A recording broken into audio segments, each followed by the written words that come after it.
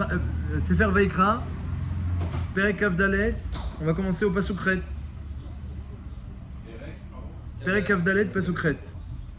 Parachat est mort. Donc un sujet, je sais pas si beaucoup l'ont étudié, je sais pas s'il y a beaucoup de théories qui sont dit dessus. Aval, euh, de toute la Torah, il y a de quoi apprendre. C'est quoi le passage? Perek Kavdalet Pasukret, on va étudier le passage de celui qui a maudit. Dans la paracha de cette semaine, il y a un homme, le fils de Shlomit Bativri, qui a maudit, le Mekalel. On l'appelle parfois dans la Gemara le Mevarer, celui qui a béni, parce que on veut pas dire qu'il a maudit Hachem, c'est pas beau, alors on l'appelle le Mevarer, celui qui a béni. Avdalet, c'est quoi, pardon? Perek. Alors juste avant le passage du Mekalel, il y a deux versets. C'est important de les lire pour comprendre Rashi ensuite. Le passage d'avant le Mekalel, il parlait de ça. Beyom Shabbat, Beyom Shabbat, Ya'achenu lifne Hashem tami, met ben britolam. Le jour du Shabbat, le jour du Shabbat, donc de Shabbat en Shabbat, tu devras euh, ordonner le lechem apanim, le, le pain qui se trouvait sur le shulchan, dans le Mishkan, l'ordonner de façon à ce qu'il soit l'ifne Hashem, qu'il soit devant Hashem de façon perpétuelle. Hein, vous savez que le Lechem Apanim, on le posait de Shabbat en Shabbat et restait toute la semaine. Il était perpétuellement devant Hashem. Il y avait une marque dans la Gemara, Rabbanan Rabbi aussi. Comment, eh bien, on l'enlevait le Shabbat pour placer le nouveau Lechem Apanim de la semaine? Est-ce qu'on a le droit de l'enlever et ensuite de mettre le nouveau Et auquel cas peut-être, ça s'appelle qu'il n'est pas resté perpétuellement devant Hashem. Alors d'après Rabbi aussi, oui c'est permis. Le jour du Shabbat, tu peux enlever. Toute la semaine, il reste perpétuellement, sans exception. Le jour du Shabbat, quand tu enlèves Shacharit, tu enlèves bien sûr, une fois qu'on a enlevé le- l'ancien pain, il est distribué au Kohanim, mangé par les Kohanim. Qu'il. Voilà. Ça c'est chez Rabbi aussi, bravo. Et Rabbanan, ils disent. euh, voilà, ils diront. Et, et Arvi, et on, on le donnait au Kohanim, ensuite on mettait le nouveau. Ça c'est chez Rabbi aussi. Donc il n'était pas vraiment perpétuellement devant Hachem, mais ça s'appelle comme si c'est perpétuellement, parce qu'il n'y a que quand on le change que euh, bouge. Les filles Rabbanan, eh bien non, il était perpétuellement. Comment c'est possible? Il était mangé. Alors c'est ce qu'on fait On pose le nouveau Lechem lorsqu'il est encore là, l'ancien. On déplace l'ancien Apanim de 10 cm et on bouge le nouveau de 10 cm de telle manière à ce que, eh bien, il n'y a pas un instant où le Shulchan est vide. De telle manière à ce que Bemet la Shulchan, il était tamid, plein de Lechem Apanim. Hein, Vaikra Kaf Pasuk Chet. Vaïtal Aaron Ulvanav Vachalou Bemakom Kadosh. Ensuite, on le distribuera, on le distribuera Aaron à ses enfants au Kohanim. Hein, c'est marqué qu'il y avait euh, beaucoup de disputes entre les Kohanim pour obtenir un petit morceau de Lechem Apanim. Un pain Kadosh. Et il est marqué quand même que Tsnouim ayou euh, po- ayou, euh, Poshtim Yedem. Pardon. Vous savez qu'on avait Kohanim, par exemple, qui était en même temps en train de. On distribuait au Mishmar, au Mishmar des Kohanim qui étaient là-bas, ceux qui étaient là-bas de service, mais il y avait quand même beaucoup de disputes, il y a beaucoup de Kohanim qui étaient de service, il y a beaucoup de disputes. Est marqué que les, les, les tzadikim et les tnouim, les gens discrets, eh bien, même s'il y a une ma'ala atsuma, c'est très, c'est très noble et, et très élevé d'en manger, eh bien, s'il fallait se disputer pour ça, ils reculaient, ils n'en prenaient pas.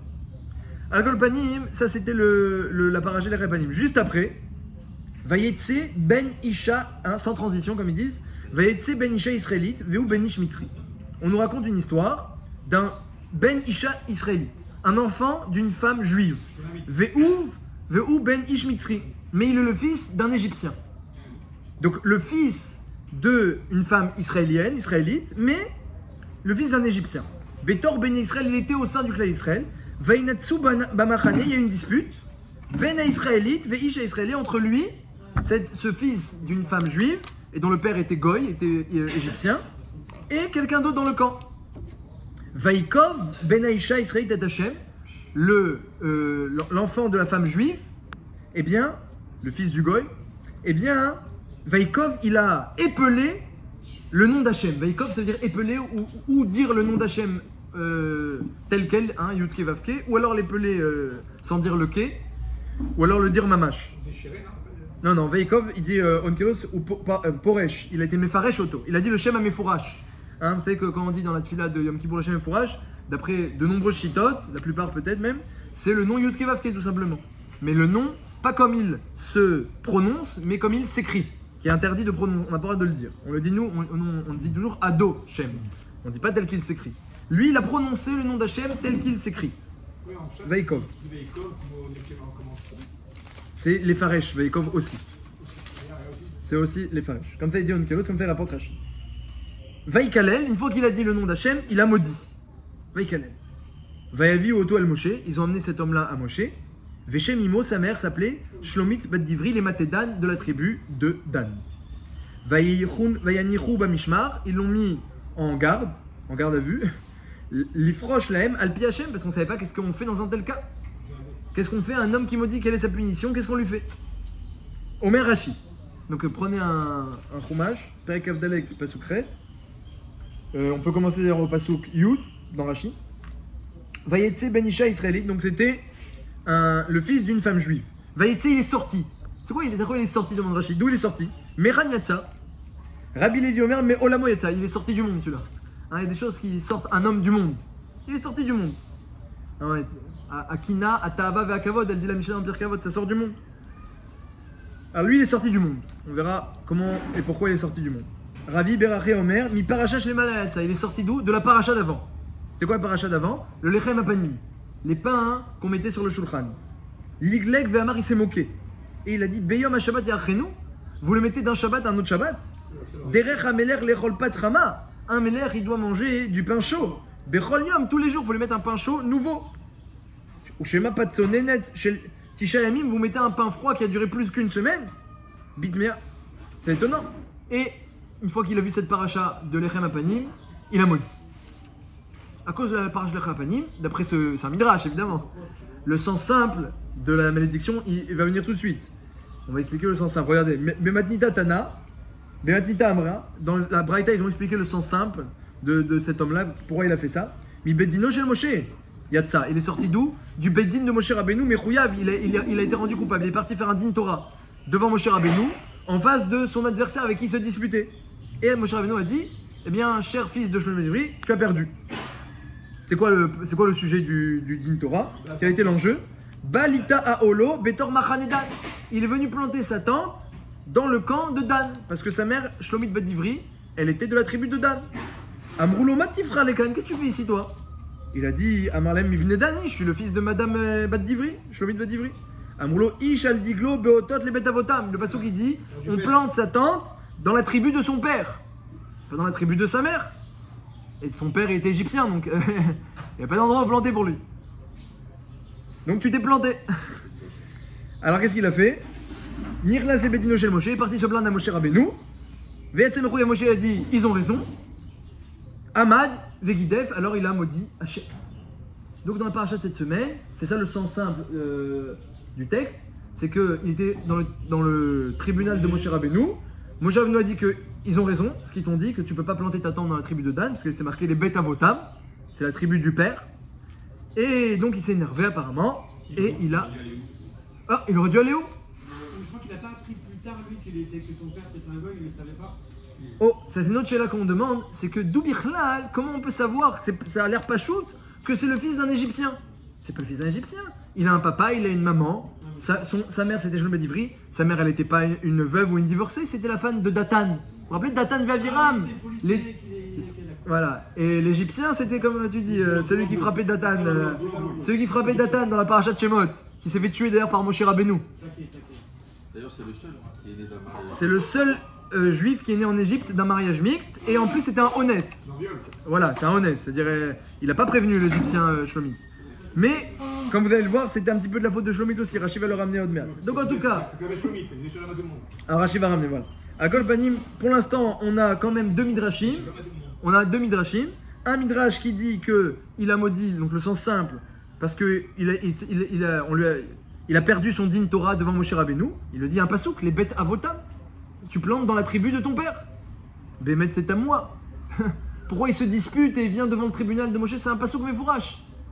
Est-ce qu'on a besoin d'aller devant Moshe Rabbeinu pour un pasouk méfourache Il n'y a même pas de quoi s'énerver et d'aller devant Moshe Rabbeinu et, et, et maudire Hachem. Et C'est étonnant. Il y a un pasouk méfourache et on dit euh, Qu'est-ce que tu veux? C'est une coucher un petit peu sur le Megadef. Si on parle de lui que c'est dans la Torah, c'est que c'est pas un idiot. C'est un rachat, mais c'est pas un idiot. Donc comment ça se fait qu'il il s'est énervé alors que a priori c'était un din pachout, c'était une halakha simple. Et à part ça, le Midrash qui dit qu'il a vu la paracha d'avant de l'Echem Apanim, il a vu le pain froid et il s'est énervé. Il a maudit Hachem, c'est aussi très étonnant. Comment comprendre? On continue un petit peu dans Rashi. Alors c'est qui son père? Ben Ish Mitzri, la Torah nous révèle Et on a demandé d'où elle sait bien mettre la Torah. Benish Mitri, que son père c'est un Égyptien. Ou à Mitri chez Arago Moshe, dit Rashi. C'est l'Égyptien que Moshe a tué dans Parashat Shemot. Parce qu'il frappait Datan, son père. Après que justement, euh, il a connu euh, Madame euh, Datan, Sholomit Badivri. Alors euh, il, a, il en voulait à son mari. Il voulait peut-être reprendre, la prendre comme épouse. Alors euh, il frappait Datan et Moshe Rabbeinu, il, il a tué le père de, de- de cet enfant, le- ce, ce policier, comme tu as dit. Il pas Nagua Badava pour euh, juger une telle affaire? Oh, alors aussi, maintenant, on faut voir exactement comment mon cher Rabbeinu a pu juger ça. Très bonne question. Bétor Béné Israël, il dit Rashi, c'est quoi ce, cet homme-là il, a, il est sorti, Mi- Mitor Béné Israël, c'est marqué.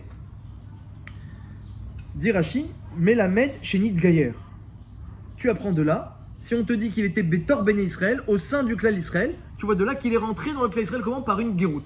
Donc sa, sa mère est une juive. Shlomim Badivri est maté Dan. Son père est un égyptien. Mais avant Matan Torah, ça te venait du père. Alors c'est pas Pachout du tout. C'est toi qui dis de, de, de Torah Pshuta, mais c'est pas Pachout. La Pachout, c'est la Mishnah elle dit que quand la mère. Quand- euh, quand la mère, c'est une coucha. Les, les Achronim, ils, demandent- ils ils disent pas Pachout comme toi. Les Achronim ils demandent une. Ils disent c'est marqué dans Kiddushin. C'est marqué dans Kiddushin que si la mère est juive, Daf Aïn, c'est une Mishnah. Si la mère est juive et le père est, le père est Goy ou même Eved, donc il n'a pas un statut Eved Kenani ou Goy, il n'a pas un statut de juif Gamour, le père, le fils est juif Gamour, comme ça dit la Mishnah.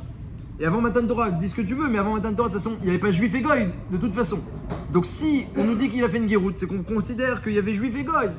A un juif qui se marie avec une Goy, alors le fils devrait être juif, comme ça demande les, les Mefarshim sur Rachid. Toi, tu as donné un kivoun de réponse, mais il y a quand même une coucha. Mais la coucha, elle, est- elle est que après. A priori, la- c'est- contre la Mishnah qui dit que euh, ce- ce- il devrait être un vrai juif, ce- cet enfant-là. compréhension, elle est double. Déjà Oui. parce que. Et la deuxième couche sur Rachid, attends, je rajoute, comme ça peut-être tu vas tout répondre en un coup. C'est qu'en plus, si tu me dis qu'il est goy et il s'est converti, parce que son père est goy, donc il est goy à cette époque-là, tu veux dire. Mais alors s'il est goy, qu'est-ce qu'il veut Il veut une, part dans le territoire de Dan. Non, parce que c'est facile. Ah vas-y. Parce que avant, si on suit mon, premier raisonnement en disant qu'il s'est mis de Gaillard parce que son père était goy, Ouais. après Madame Torah, il a compris qu'il était juif parce qu'il vient de la mère. Donc il était en vraie compréhension, il s'est dit, mais c'est quoi, c'est quoi ce bazar? Non, Avant- non, c'était mis de Gaillère, c'était mis de Gaillère. Non, c'est parce qu'il était mis de avant Madame Torah. Non, après, Et après, après, il a- non, non, avant Matan Torah, non, avant Matan Torah, c'est un chidou, je veux dire. Avant Matan Torah, avant Matan Torah, si tu dis que tout le monde était goy, avant Matan Non, Torah. je pas dit ça, j'ai dit que lui était goy d'Afka. Non mais Parce que, parce que son père était goy. Donc lui, il est évident de se Gaillard. Si avant Matan Torah il y avait juif et goy, avant Matan Torah, il aurait dû être juif parce que sa mère est juive. Mais justement, avant Matan Torah, là, il y, a- Il y avait juif, la mais il y avait du père. Et donc après Matan Torah, il a dit alors, je, suis juif, avant, je suis juif après. Qu'est-ce qu'il veut chez moi? C'est ça, ça son, sa compréhension. Il s'est dit, mais alors, et là il a dit, mais je comprends plus rien. Et à ce moment, dans, dans ma tête, je me dis, c'est pour ça que derrière, il a fait un dit, mais il dit, attends, si, si, si, si, si Hachem, il est capable de, de, on lui sait- de faire un miracle que ça dure autant Non, ah, il, il- du pain froid, il dit Rachid. Bon, Rachid dit il a du pain froid. oui, mais c'est le mec qui sera chaud pour, pour un engagement le jour même. Il dit que non, il dit Rachid dit que Bon, comment on sert si, du pain il froid à. Lui, il est dans une compréhension, il dit attends, il y a un truc qui va pas. Moi, dans les deux côtés, je suis coincé. Il, il, il dit ça qu'il a compris, il a, il pas compris. Il, il, a, il il été forcé à faire la, la, la, la. Il a fait, il a fait. Top, top. Donc il a un mahalach déjà. Nifla. À Kolben, il y a comme une couche, les Achronim demandent comme une couche sur Rachid. Il dit il y a- il y, a- il des tiroutines. Que euh, il y a double coucha. Que pourquoi il est goy, Bémet. Et, et pourquoi. Et pourquoi. euh, et pourquoi il s'est plaint Si Bémet il est, il est goy, pourquoi il s'est plaint? Non, il a été conçu avant et l'histoire se passe après. Il a été conçu avant et l'histoire se passe après. Il. Il change le statut, euh, mais bon, ça va dans son sens, il change le statut. Autre là. On continue euh, dans Rashi. On passe à Shem Imo Shlomit Badivri, on saute quelques Rashi. Shem Imo Shlomit Badivri. Pourquoi on- Shem Imo Shlomit Badivri. Shifran chez l'Israël, chez Pirsema Katouf, la Torah. On dit son nom? La Torah elle dit, tu sais, sa mère, qui elle s'est mariée avec un Égyptien, elle s'appelle Shlomit Badivri. Shifran chez l'Israël, c'est un- une, louange pour le clan d'Israël. Que la seule que euh, elle, est- elle s'est mariée avec un, dans un, mariage mixte, avec un, Égyptien, c'est c'est Shlomit Badivri. L'Omar chez Ilevada et Tazona. Donc le seul, le seul cas de Znout qu'il y a dans le d'Israël, c'est Shlomit Badivri. Quel est le problème de Efo Znout? On a dit qu'il n'a pas prévenu l'Égyptien. Shlomit Dava Pitpeta parce qu'elle discutait beaucoup. Shlamalar, Shlamalar. bonjour à toi, bonjour à toi, elle disait bonjour à tout le monde, alors on l'appelait Shlomit. Shalom Alechon. Mais pas peut-être Bitvarim, Sholek Shlom Akol, puisqu'elle elle, elle discutait beaucoup. Et elle disait bonjour à tout le monde, alors ça a été Gorem, hein, Shlomit, Bat Divri. Bat Divri d'Irachi, Dabrani Taïta. C'était une. Dabrani, elle parlait beaucoup. Il y avait. Une pipelette. Voilà, pipelette, bravo. Mais Daberet Imkol Adam, les Fikar Kilkela, et c'est ça qui a amené euh, au, au Kilkul. Contre, je vois pas pourquoi il commence par Shifran. Et après, on dit. On dit, on dit Shifran chez l'Israël. On fait le Jvar d'Israël en montrant qu'il y a eu, y a y a eu un seul Gnout.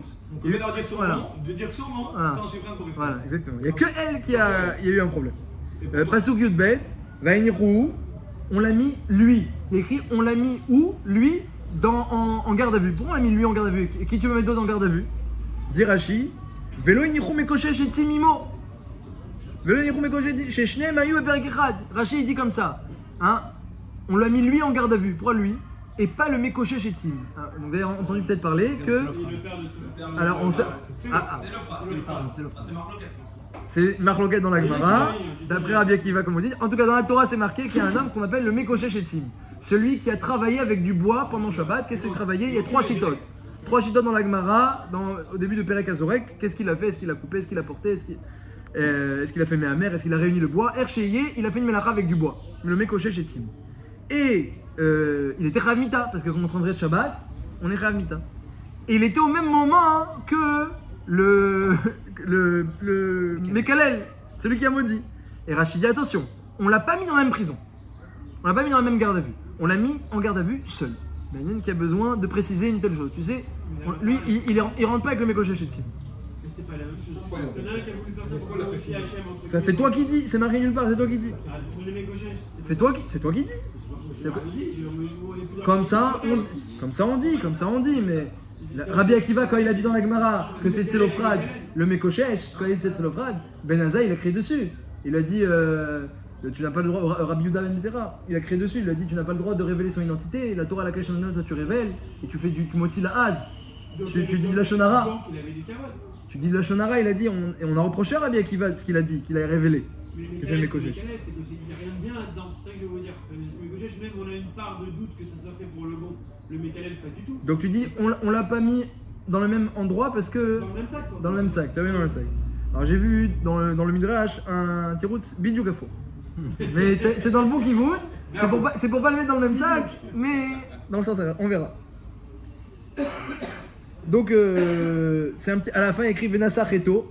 Alors après la Torah, au, au passage, elle nous dit, je vais lire dans le texte, Pasuk Yud Gimel sans Rashi. Vaïdaber Hachem Moshe est mort. Otsi Weta Mekalel, El Mirutz la Machane, Vesamru, Kola Shom Metiedem Al Rocho, Veragmo Oto Kola Eda, il est Chayav Skila. Vel Ben Israël Tedaber les morts. Ish Ish qui est Kalel Elo Elokav Venasacheto. Celui qui maudit Hachem Nasacheto, il portera sa faute. Venokev Shem Hachem Motumat. Celui qui, qui épelle le nom d'Hachem et qui maudit Chayav Mita. Kager Kaezrar, Irgemubo Kola Eda, Kager Kaezrar, Benovo Shem Numat. Et... Mais Agnès, deux choses Agnès, que Moshe Rabbeinu ne savait pas c'est quoi la punition du Mekalel, qu'est-ce qu'on va lui faire, alors que pourtant on sait que celui qui maudit son père et sa mère, il est Chayav Mita. Et C'est écrit dans les parachutes plus on a trouvé que celui qui maudit son père et sa mère, Shalom, c'est très grave, il est Chayav Mita. Mais maudire Hachem, on ne savait pas encore quelle est la punition. Moshe Rabbeinu, il hésitait. Attends, Moshe Rabbeinu. Si quand tu maudis ton père et ta mère, t'es Chayav Mita, quand tu maudis Hachem lui-même, chez Kavachomer, Moshe ne savait pas. Et le, le Khatam Sofer, il dit, il écrit Venasacheto, il portera sa faute. Nasacheto, c'est qui qui porte la faute? Le Rabbin va dire un, un début de tiroute, c'est Hachem, il porte la faute. Venasacheto. On aurait pu croire, quand tu maudis ton père et ta mère, t'es Chayav Mita. Mais quand tu maudis Hachem, c'est différent. Hachem, il porte la faute. On verra qu'est-ce que ça signifie, ce- cette réponse-là, et que ce, ce, ce mot-là, Venasacheto, le sens simple, évidemment, hein, c'est que l'homme qui a fait ça, il doit porter sa faute. Si un homme il a fait ça, il n'a pas été tué au Bedin, s'il a été tué, ça y est, il est blanchi tout de suite. Mais s'il n'a pas été tué au Bedin parce qu'il n'y avait pas par exemple de Atraab, savez qu'il faut deux témoins qui disent Comment tu vas maudire Hachem? T'as dit son nom, mais tu sais pas que c'est Rav Mita. Il dit Je sais, je sais, quand il maudit. S'il n'y a pas deux témoins qui préviennent, il n'y a pas de Riov Mita. Donc si quelqu'un il a maudit et pas Rav Mita, Venasacheto, il porte sa faute. Qui? Cet homme-là. Mais le Khazanzer dit Hachem il porte. Ça c'est le sang lui, on verra Bezat Hachem qu'est-ce que ça signifie. Donc on va parler Bezat Hachem de la Sougia, du Mekalel, de maudire. Évidemment, quand on comprend bien la notion de malédiction et, et de Chilou Hachem, eh bien c'est l'occasion aussi de comprendre la notion de bénédiction et de Kiddush Hachem. Il faut comprendre aussi qu'est-ce qui a amené cet homme-là à agir ainsi. Apparemment, c'était pas un idiot si la Torah nous parle de lui. Dans le Midrash, c'est Nira qu'il était beaucoup mieux que le. Ça, le Khatam Sofer il ramène qu'on l'a pas avec le Mekoshesh parce qu'il était mieux.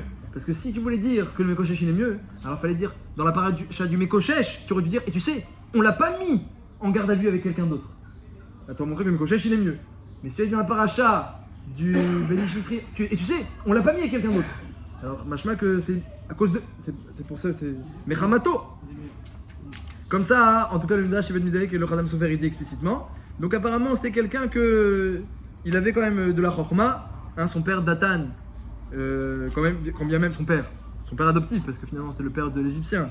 Aussi, c'était quelqu'un de Chacham. De là, il s'est mis avec Korach et avec les 250 chefs de Sanhedrin pour s'élever contre Moshe Rabbeinu. C'était une, euh, une marloquette quand même euh, qui était basée sur euh, beaucoup de sagesse. Quand bien même euh, c'était une grande avéra et c'était de la picorsoute, mais il y avait, si Moshe Rabbeinu il est tombé par terre, c'est que c'était pas euh, non plus euh, des attaques, euh, c'était des attaques fines, c'était pas des attaques grossières et gas et comme ça vulgaires. Comment il a pu juger comme ça, mon cher Rabbeinu? Et comment Moshe Rabbeinu a pu juger Voilà, toutes ces questions, les attachés, on va essayer de répondre à, à toutes les questions. Alors c'est marqué dans l'Agmara. L'Agmara elle dit comme ça. Quand il y a une Sheila de Mishpacha, il y a deux, il deux, dossiers dans la Torah. Il y a Yahadout et il y a Mishpacha. Comme on dirait aujourd'hui dans le langage moderne, il y a est-ce que tu es juif ou pas et de quelle origine tu es. Pour l'origine, on prend le père. Pour les minagim, on prend le père. À l'époque, c'était pas juste l'origine des minagim, c'était beaucoup plus rachou, c'était le chevet, la tribu, où tu habites. Elle, est- où ta part en Eretz Israël? Est-ce que tu vas en guerre ou tu vas pas en guerre? Que tu travailles au Beth tu travailles pas au Beth Est-ce que tu fais Birkat Kohanim? Est-ce que tu, tu peux chanter comme les Lévim? La notion de Mishpacha, Mishpachat Av Krouya Mishpacha. C'est le père qui donne le Shem Mishpacha. La mère, elle rentre dans. Et c'est logique, c'est un, peu. Même aujourd'hui, on le sent bien. La mère, elle rentre dans la famille du mari. Elle devient un chélek de la famille du père. C'est pas le père qui rentre dans la famille de, dans sa belle famille, c'est la mère, elle rentre dans la famille du mari, c'est le mari qui, qui, donne la mishpacha. La mère, par contre, à la Khalema assez, après Matan Torah comme tu dis, Dina des Mishnah, que c'est elle qui donne la Yahadout, la judaïcité. Mais la mishpacha, c'est le père qui donne. Alors, la Gemara, elle dit, le, père, il donne la mishpacha. La coutume, le minag, le, nom de la famille. Est-ce que c'est une famille de Dan ou c'est une famille de Réhouven? Bémet, quand il est venu planter, j'ai vu des méfarchim qui disent, le panim Yafot il dit, quand il est venu planter sa, tribu, sa tente dans la tribu de Dan, ils l'ont pas dit, toi t'es un goy, t'es un fils d'Égyptien. Ils l'ont dit, mais qu'est-ce que tu fais là? Toi t'appartiens à la tribu de Réhouven. Ton père c'est Datan. Ils ont cru que son père c'est Datan. T'appartiens à la tribu de Réhouven, donc t'as rien à faire dans Dan. Et qu'est-ce qui s'est passé en fait? C'est que lorsqu'il y a eu, comme ça explique le panim Yafot, lorsqu'il y a eu la marloquette entre Korach et Koladato, et d'après le panim Yafot, cet épisode c'était après, quand il y a eu la marque Loquette, et ben Datan et tous ses enfants, ils ont été engloutis. Mais lui n'a pas été englouti. Donc tout le monde a compris qu'il n'était plus de, il pas de la tribu de Réhouven. Donc là, on a découvert le poteau rose. Que finalement, son père c'était pas Datan. Et que Shlomit Badivri qui disait bonjour à tout le monde, et ben c'était pas non plus, c'était pas clair, cette histoire-là. Ils disent que cet épisode-là il était après la marque de Korah, il dit le Païm. Et donc tout le monde savait, tout le monde savait que maintenant, enfin maintenant, ça c'est su, qu'il n'était pas de la tribu de Réhouven. Donc au début on le disait va chez Réhouven, il dormait chez Réhouven. Quand a eu cet épisode, il a été renvoyé de chez Réhouven. Donc euh, premier renvoi déjà de chez Réhouven, ton père c'est pas Datan, tu vois bien que t'es vivant. Alors il est parti chez Dan, parce qu'il s'est dit bon d'accord je suis pas de Réhouven, mais euh, ma mère au moins, on, sait c'est qui. Ils ont dit bon si ton père c'est pas Réhouven, alors c'est quelqu'un d'autre. Et donc euh, t'as aucune raison que ton père soit de Dan. Ah mais ma mère c'est Dan. Mishpachat M et Nakrouya Mishpacha. C'est la père qui donne la Mishpacha, c'est pas la mère. Et ça c'est un pasouk, comme il a ramené euh, Rashi, il, il a dit, ils l'ont dit, Ishal Diglo Beotot les bêtes avotables. C'est le père qui donne le dégel. Le drapeau, la tribu, c'est le père qui donne, c'est pas la mère. Donc qu'est-ce que tu dis, ma mère est de Dan, c'est pas suffisant. Qu'est-ce qu'il pensait le Mekalel C'était pas un idiot, on a dit, qu'est-ce qu'il pensait? Eh bien, il y a plusieurs Gumarot où c'est marqué quelque chose de très intéressant. Il y a une marque dans la Gemara. Si jamais euh, une femme Lévi, elle se marie avec un juif Israël qui n'est pas Lévi, ou une femme Cohen, elle se marie avec un Israël, est-ce que l'enfant il est chayav de Pidyon Aben ou pas? Parce que les Lévim et les Kohanim ne font pas Pidyon Aben. Mais les juifs israéliens, qui sont pas Lévi et Cohen, font Pidyon Aben. Comment on fait s'il y a le père est de l'un et la mère elle est de l'autre? La mère elle est Lévi, la mère elle est Cohen, et le père est Israël. Est-ce qu'on va d'après le père et on fait Pidyon Aben, ou d'après la mère ou pas? Alors il y a plusieurs avis dans la Gemara, il y a une marque dans la Gemara.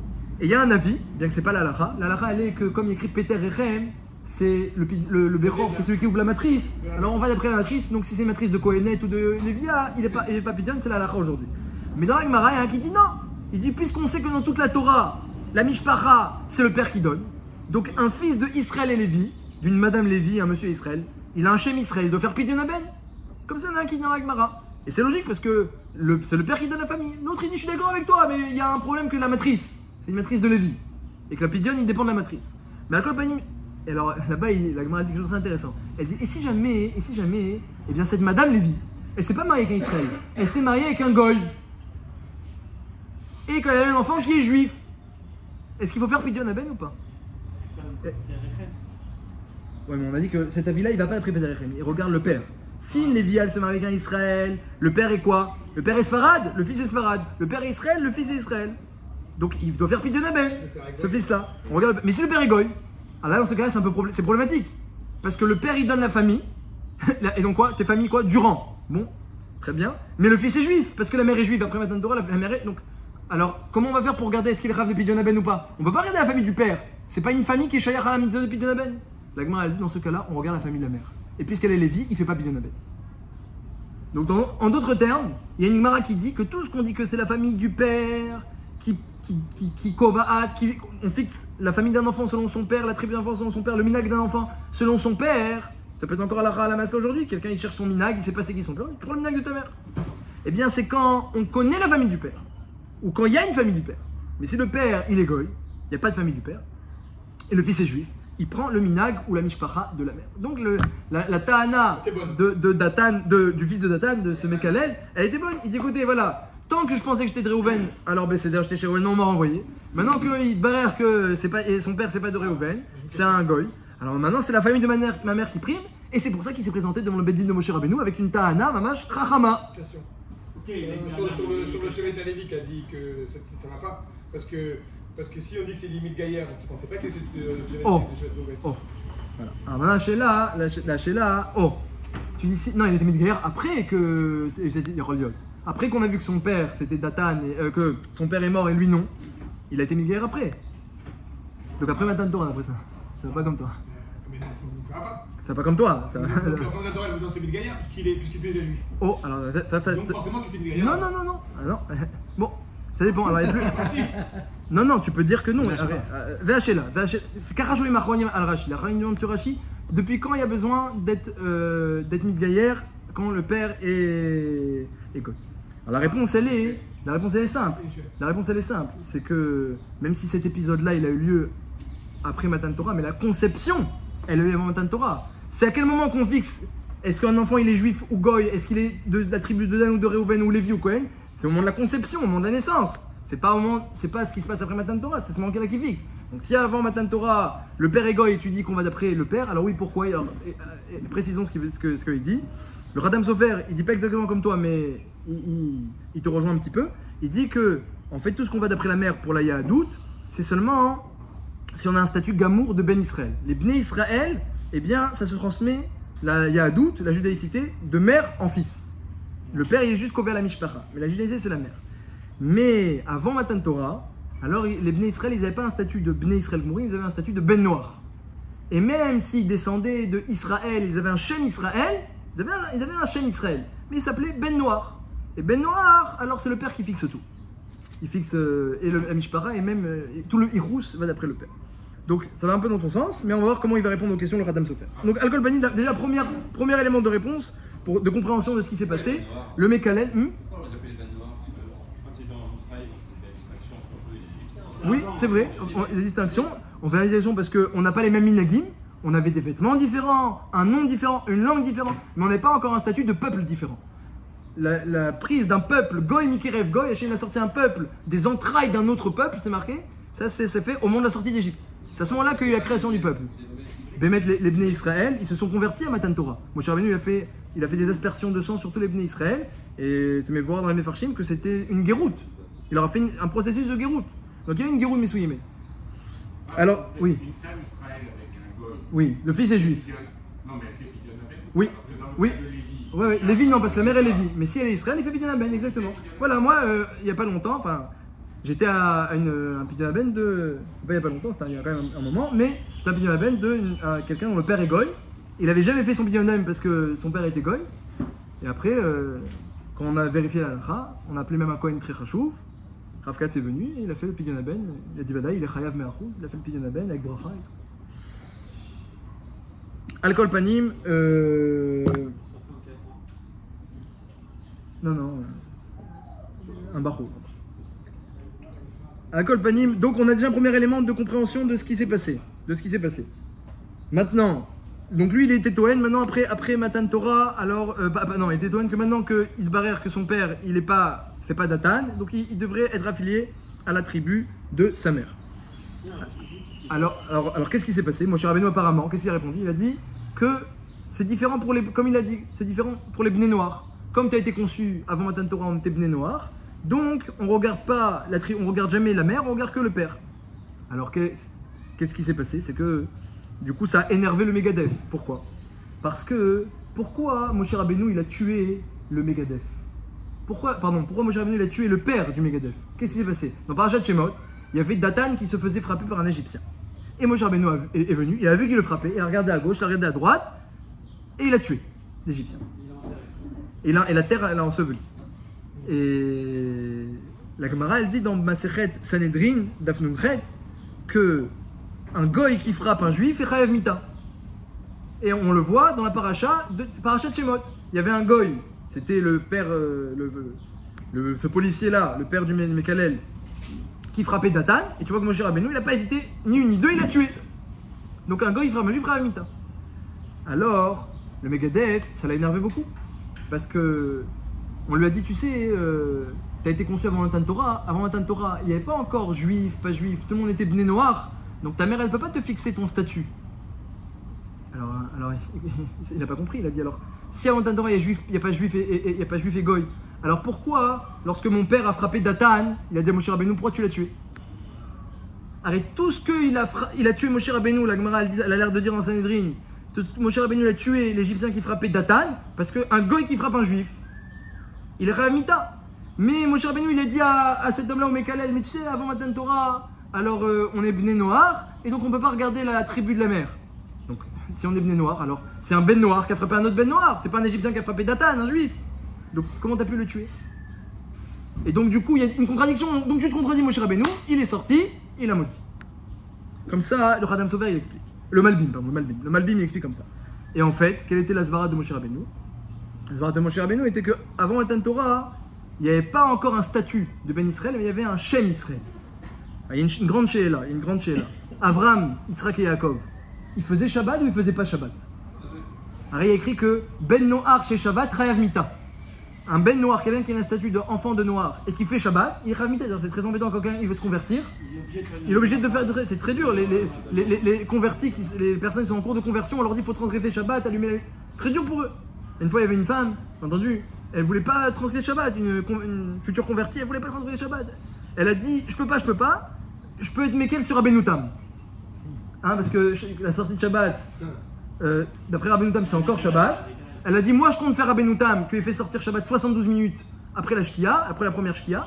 Donc je compte faire Abenoutam. Donc pendant, quand Shabbat est déjà sorti, d'après euh, le Loir, mais que c'est pas encore la sortie de Abenoutam, je veux bien faire une Melacha. Ils ont envoyé la question à Rav Eliashiv. Il a dit cherchez, c'est qui sa grand-mère maternelle? Ils ont trouvé qu'elle était juive. Si, si elle veut faire, si elle est prête à transgresser cœur à Benoutam, c'est pas une euh, Goya Pshuta celle-là. Alcool panim, donc elle doit, donc un goy, un goy, un goy, euh, il, il a- pas le droit de faire une melacha. Un, un, juif, un goy, il a le droit de faire Shabbat, il doit faire une melacha. Alors comment Avram Yitzhak et Yaakov il faisait Shabbat? Bon alors il y en a qui plaisantent et qui disent, en blague, il y a écrit qu'il faisait Shabbat, hein, il y a écrit qu'Avram Avinu faisait même Eruv Tavshilin, lorsque Yom Tov tombait collé de Shabbat, Avram Avinu faisait Eruv Tavshilin, la le dit. Alors, euh, hein. Alors d'après ça, ils n'ont pas converti, pas ça. Il n'a pas eu besoin. Alors, comment euh, Oui. il ne faut appliquer les sectes. euh, Il faut appliquer, mais on va pas en appliquer plus. hein.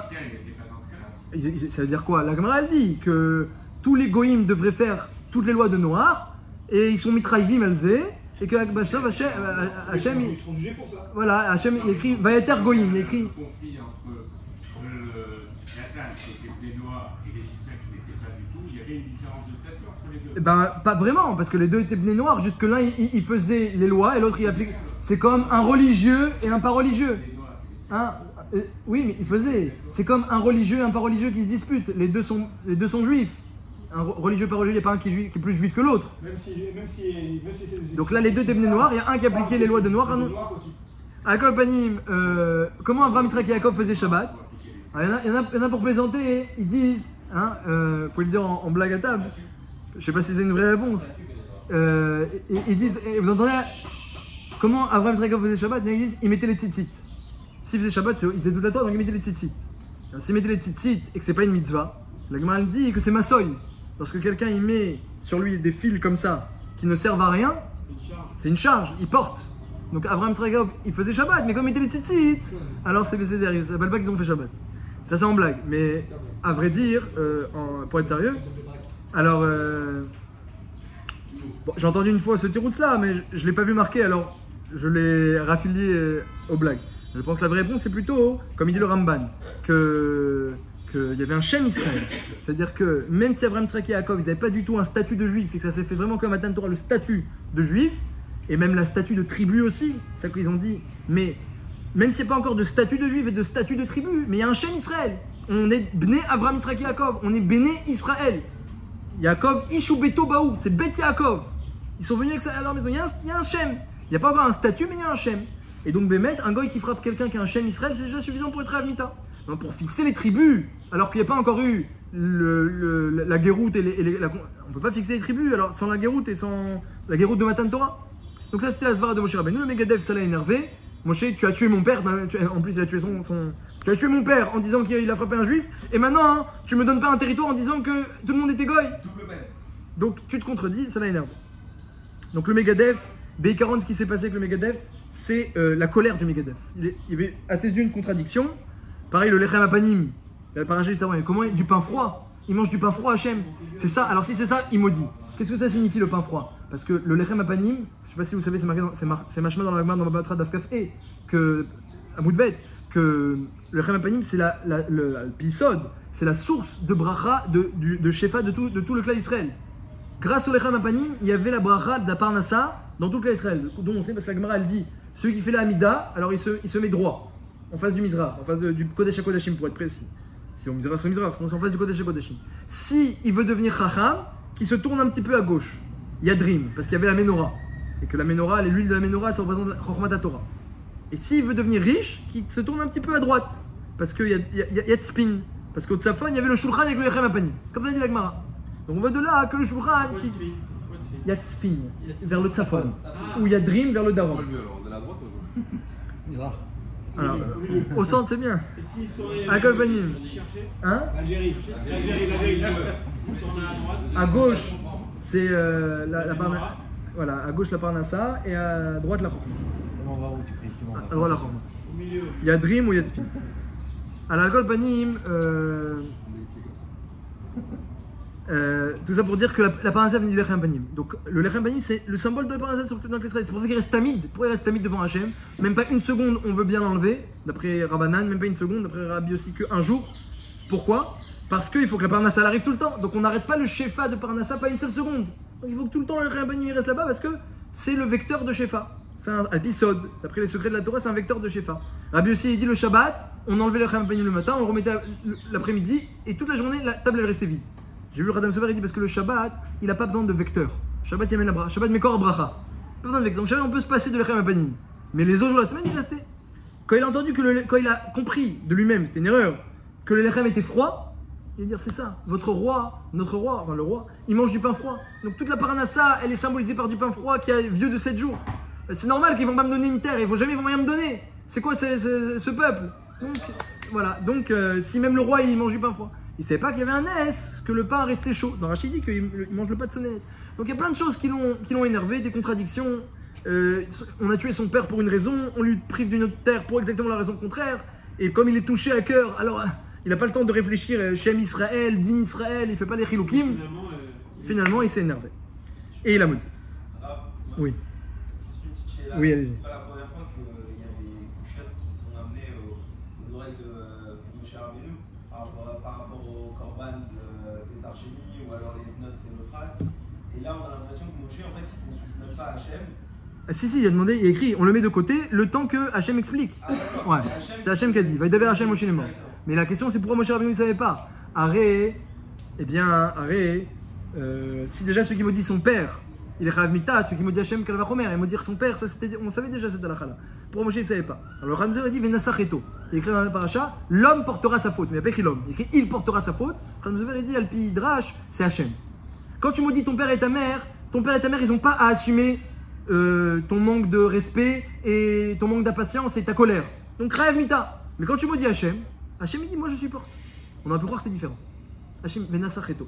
Bemet michamocha baelim Hachem. Qui est comme toi dans les puissants Hachem? C'est quoi les puissants? La Gemara dit en Gitin, daf euh, nunhe, nunvav. Elle dit la Gemara dans que c'est michamocha qui est comme toi Hachem parmi les puissants baelim. Ne dis pas baelim, dis baelimim. Qui est comme toi dans les muets? Qui est comme toi? Parce qu'à gauche beaucoup, on lui fait, on lui fait, on lui fait, on lui fait, il reste muet. Il fait rien, rien. Erer Hapaim, il est longanim, il dit rien. Pourquoi J'attends. Pourquoi je vais le m'énerver tout de suite? Pourquoi je vais le punir tout de suite J'attends. Peut-être qu'il va faire tchouva. Peut-être qu'il va changer. Et Behemet, le Radam Sover, il ramène au nom du Midrash que le Mekalel, il a changé. Après, quand il a parlé de. Il a été devant. Quand on l'a expliqué, quand on l'a expliqué ce qui s'est passé, que les et que c'est pas bien ce qu'il a fait, il ramène au nom du Midrash qu'il a changé, il a regretté sa parole. Mais dans Avodazara, au Chilul Hashem, maudire ou faire Avodazara, tu regrettes, mais ça a été fait. Tu as eu une atra'a, on t'a prévenu. Donc c'est vrai qu'il a fait tchouva. Et mais quand il a fait tchouva, on l'a pas mis dans la même salle que le Mekochesh. Parce que le Mekochesh, c'est marqué qu'il arrivait, il arrivait, vous auto. Ils l'ont apporté chez Moshe. Il écrit ils l'ont apporté, il avait encore les etzim sur les épaules, le Mekochesh. C'est-à-dire qu'il n'a pas fait tchouva. Il est resté avec ses, ses bois sur ses épaules devant, dans, dans le tribunal. Shabbat avec le bois sur les épaules. Il n'a pas fait tchouva. Comme ça, euh, il y a un midrash. Al-Kol Panim, euh, la fisée, donc le Mekochesh, lui, qui a pas fait tchouva, on l'a mis dans une salle. Lui, il a fait tchouva, il a, il a rien à voir avec l'autre. Mais ce qui a été dit a été dit. Et c'est marqué dans Pirkei Avot quelque chose de Nora Ve'ayom, il faut savoir. Echad Mezid ve'Echad Shogeg be'chilul Hashem. Il n'y a pas de différence entre quelqu'un qui est volontaire ou involontaire dans Chilul Hashem. Chilul Hashem, il n'y a pas de différence. Un type dit Je vais faire Chilul Hashem et l'autre il réfléchit pas et fait Chilul Hashem, auto d'avar. Pourquoi? Parce que le problème de Chilul Hashem, c'est pas ta kavana. Ta ta kavana, c'est le problème d'une avera ta kavana. Hashem, c'est le problème que tu as profané par tes actions le nom d'Hachem. Qu'importe si tu as profané avec ou sans. Ce qui ressort de tes actions, ce qui émane de tes actions, c'est une profanation. D'ailleurs, Chilul Hashem et Kiddush Hashem, c'est quoi Chilul Le mot Chilul, ça vient de Halal. Halal, ça veut dire, halal, ça veut dire vide. Chilul Hashem, c'est quoi? Tu as vidé Hashem. Tes actions, au lieu de montrer Hashem, elles montrent le contraire. Quelqu'un qui se permet de maudire Hashem, par exemple, il dit le Radam Sofer, ça veut dire quoi? Maudire Hashem, ça veut dire c'est. Il dit regardez, je maudis, il va, il va rien me faire parce que finalement, est-ce qu'il existe finalement? Est-ce qu'il est puissant finalement? Est-ce qu'il agit finalement? Regardez, je il est même capable de maudire. Il dit je maudis, regardez, il se passe rien? C'est ça, c'est ça la kavana de celui qui maudit. C'est remet en question l'existence et la puissance, et la, et la- la toute puissance. Ça, c'est un chilou Hashem. Et chilou Hashem, même si quelqu'un il est shogeg, ou qu'il est énervé, ou qu'il. Il n'y a pas de, de différence. Regardez quelque chose, une preuve très belle de cela. Dis-le à Nezer. Toutes les mitzvot. Non, parce qu'après il a regretté. c'est pas shogeg. Mais après il a regretté. Et donc quand quelqu'un il regrette sa faute, alors ces avérotes deviennent comme shogeg. La tchouva elle est mitzkabelet. Tous les mésides deviennent comme des shogeg. Donc on pourrait dire, bon, maintenant il a regretté, il a fait tchouva. Il a déjà eu le Hashem a eu lieu. Il a écrit, le, le Avnezer, dit quelque chose de très étonnant. Vous savez qu'à Pessar, il faut 4 verres de vin. Celui qui n'a pas pour faire 4 verres de vin, il dit l'Agmara, eh bien, il doit se débrouiller avec 4 verres de vin.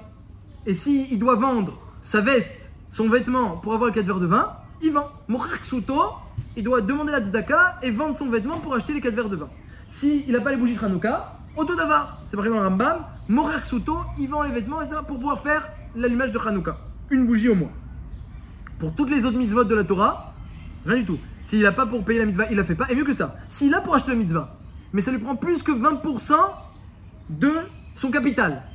Ou alors, mieux que ça, qu'il avait deux mitzvot. Donc il a pris 20% pour la première, pour la deuxième, ça y est, j'ai déjà pris les 20%. Pas tout. Une fois que tu as prélevé ton capital de 20%, tu n'auras plus aucune obligation de dépenser de l'argent pour les mitzvot. N'aura rien.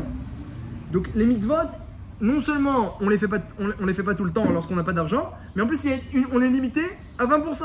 On n'a pas- Au-dessus, on n'est pas, on pas chayav. Il y a un tour. Et pourtant, les quatre verres de vin et Hanouka et Purim, oui, quelle différence? Pire Soumanes, on est rave quoi qu'il en soit. Il explique l'Avnezer, quelque chose de très beau. Lorsqu'un homme il veut faire la mitzvah et qu'il n'a pas assez d'argent et qu'il va s'appauvrir, Hachem dit regarde, tu veux faire, tu vas t'appauvrir, je te compte comme si tu l'as fait. Mais quand la mitzvah c'est pire soumanès, montrer le miracle, qui douche Hachem, faut montrer. Toutes les cavanotes et les bonnes intentions ne compléteront pas le kiddush Hachem que tu n'as pas fait. Si la mitzvah c'est par rapport à Hachem, il dit moi je vois Hachem, il je vois que tu veux la faire, et ben c'est quoi ne la fais pas.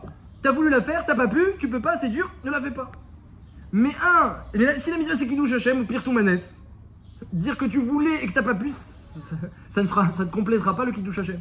Et pareil pour Hilul Hachem. Quelqu'un, il a, trop, profané le nom de Hachem. Ah, mais je, je savais pas, je pouvais pas, j'ai pas fait attention. Ah, Le Hilul Hachem a été fait. Donc le Ramban, il dit, en résumé, hein, qu'on ressort avec quelque chose. Shema meni moussar avicha, écoute un petit moussar. Quand tu parles, parle toujours gentiment, doucement, sereinement. L'école adam à tout homme. Dans chaque situation.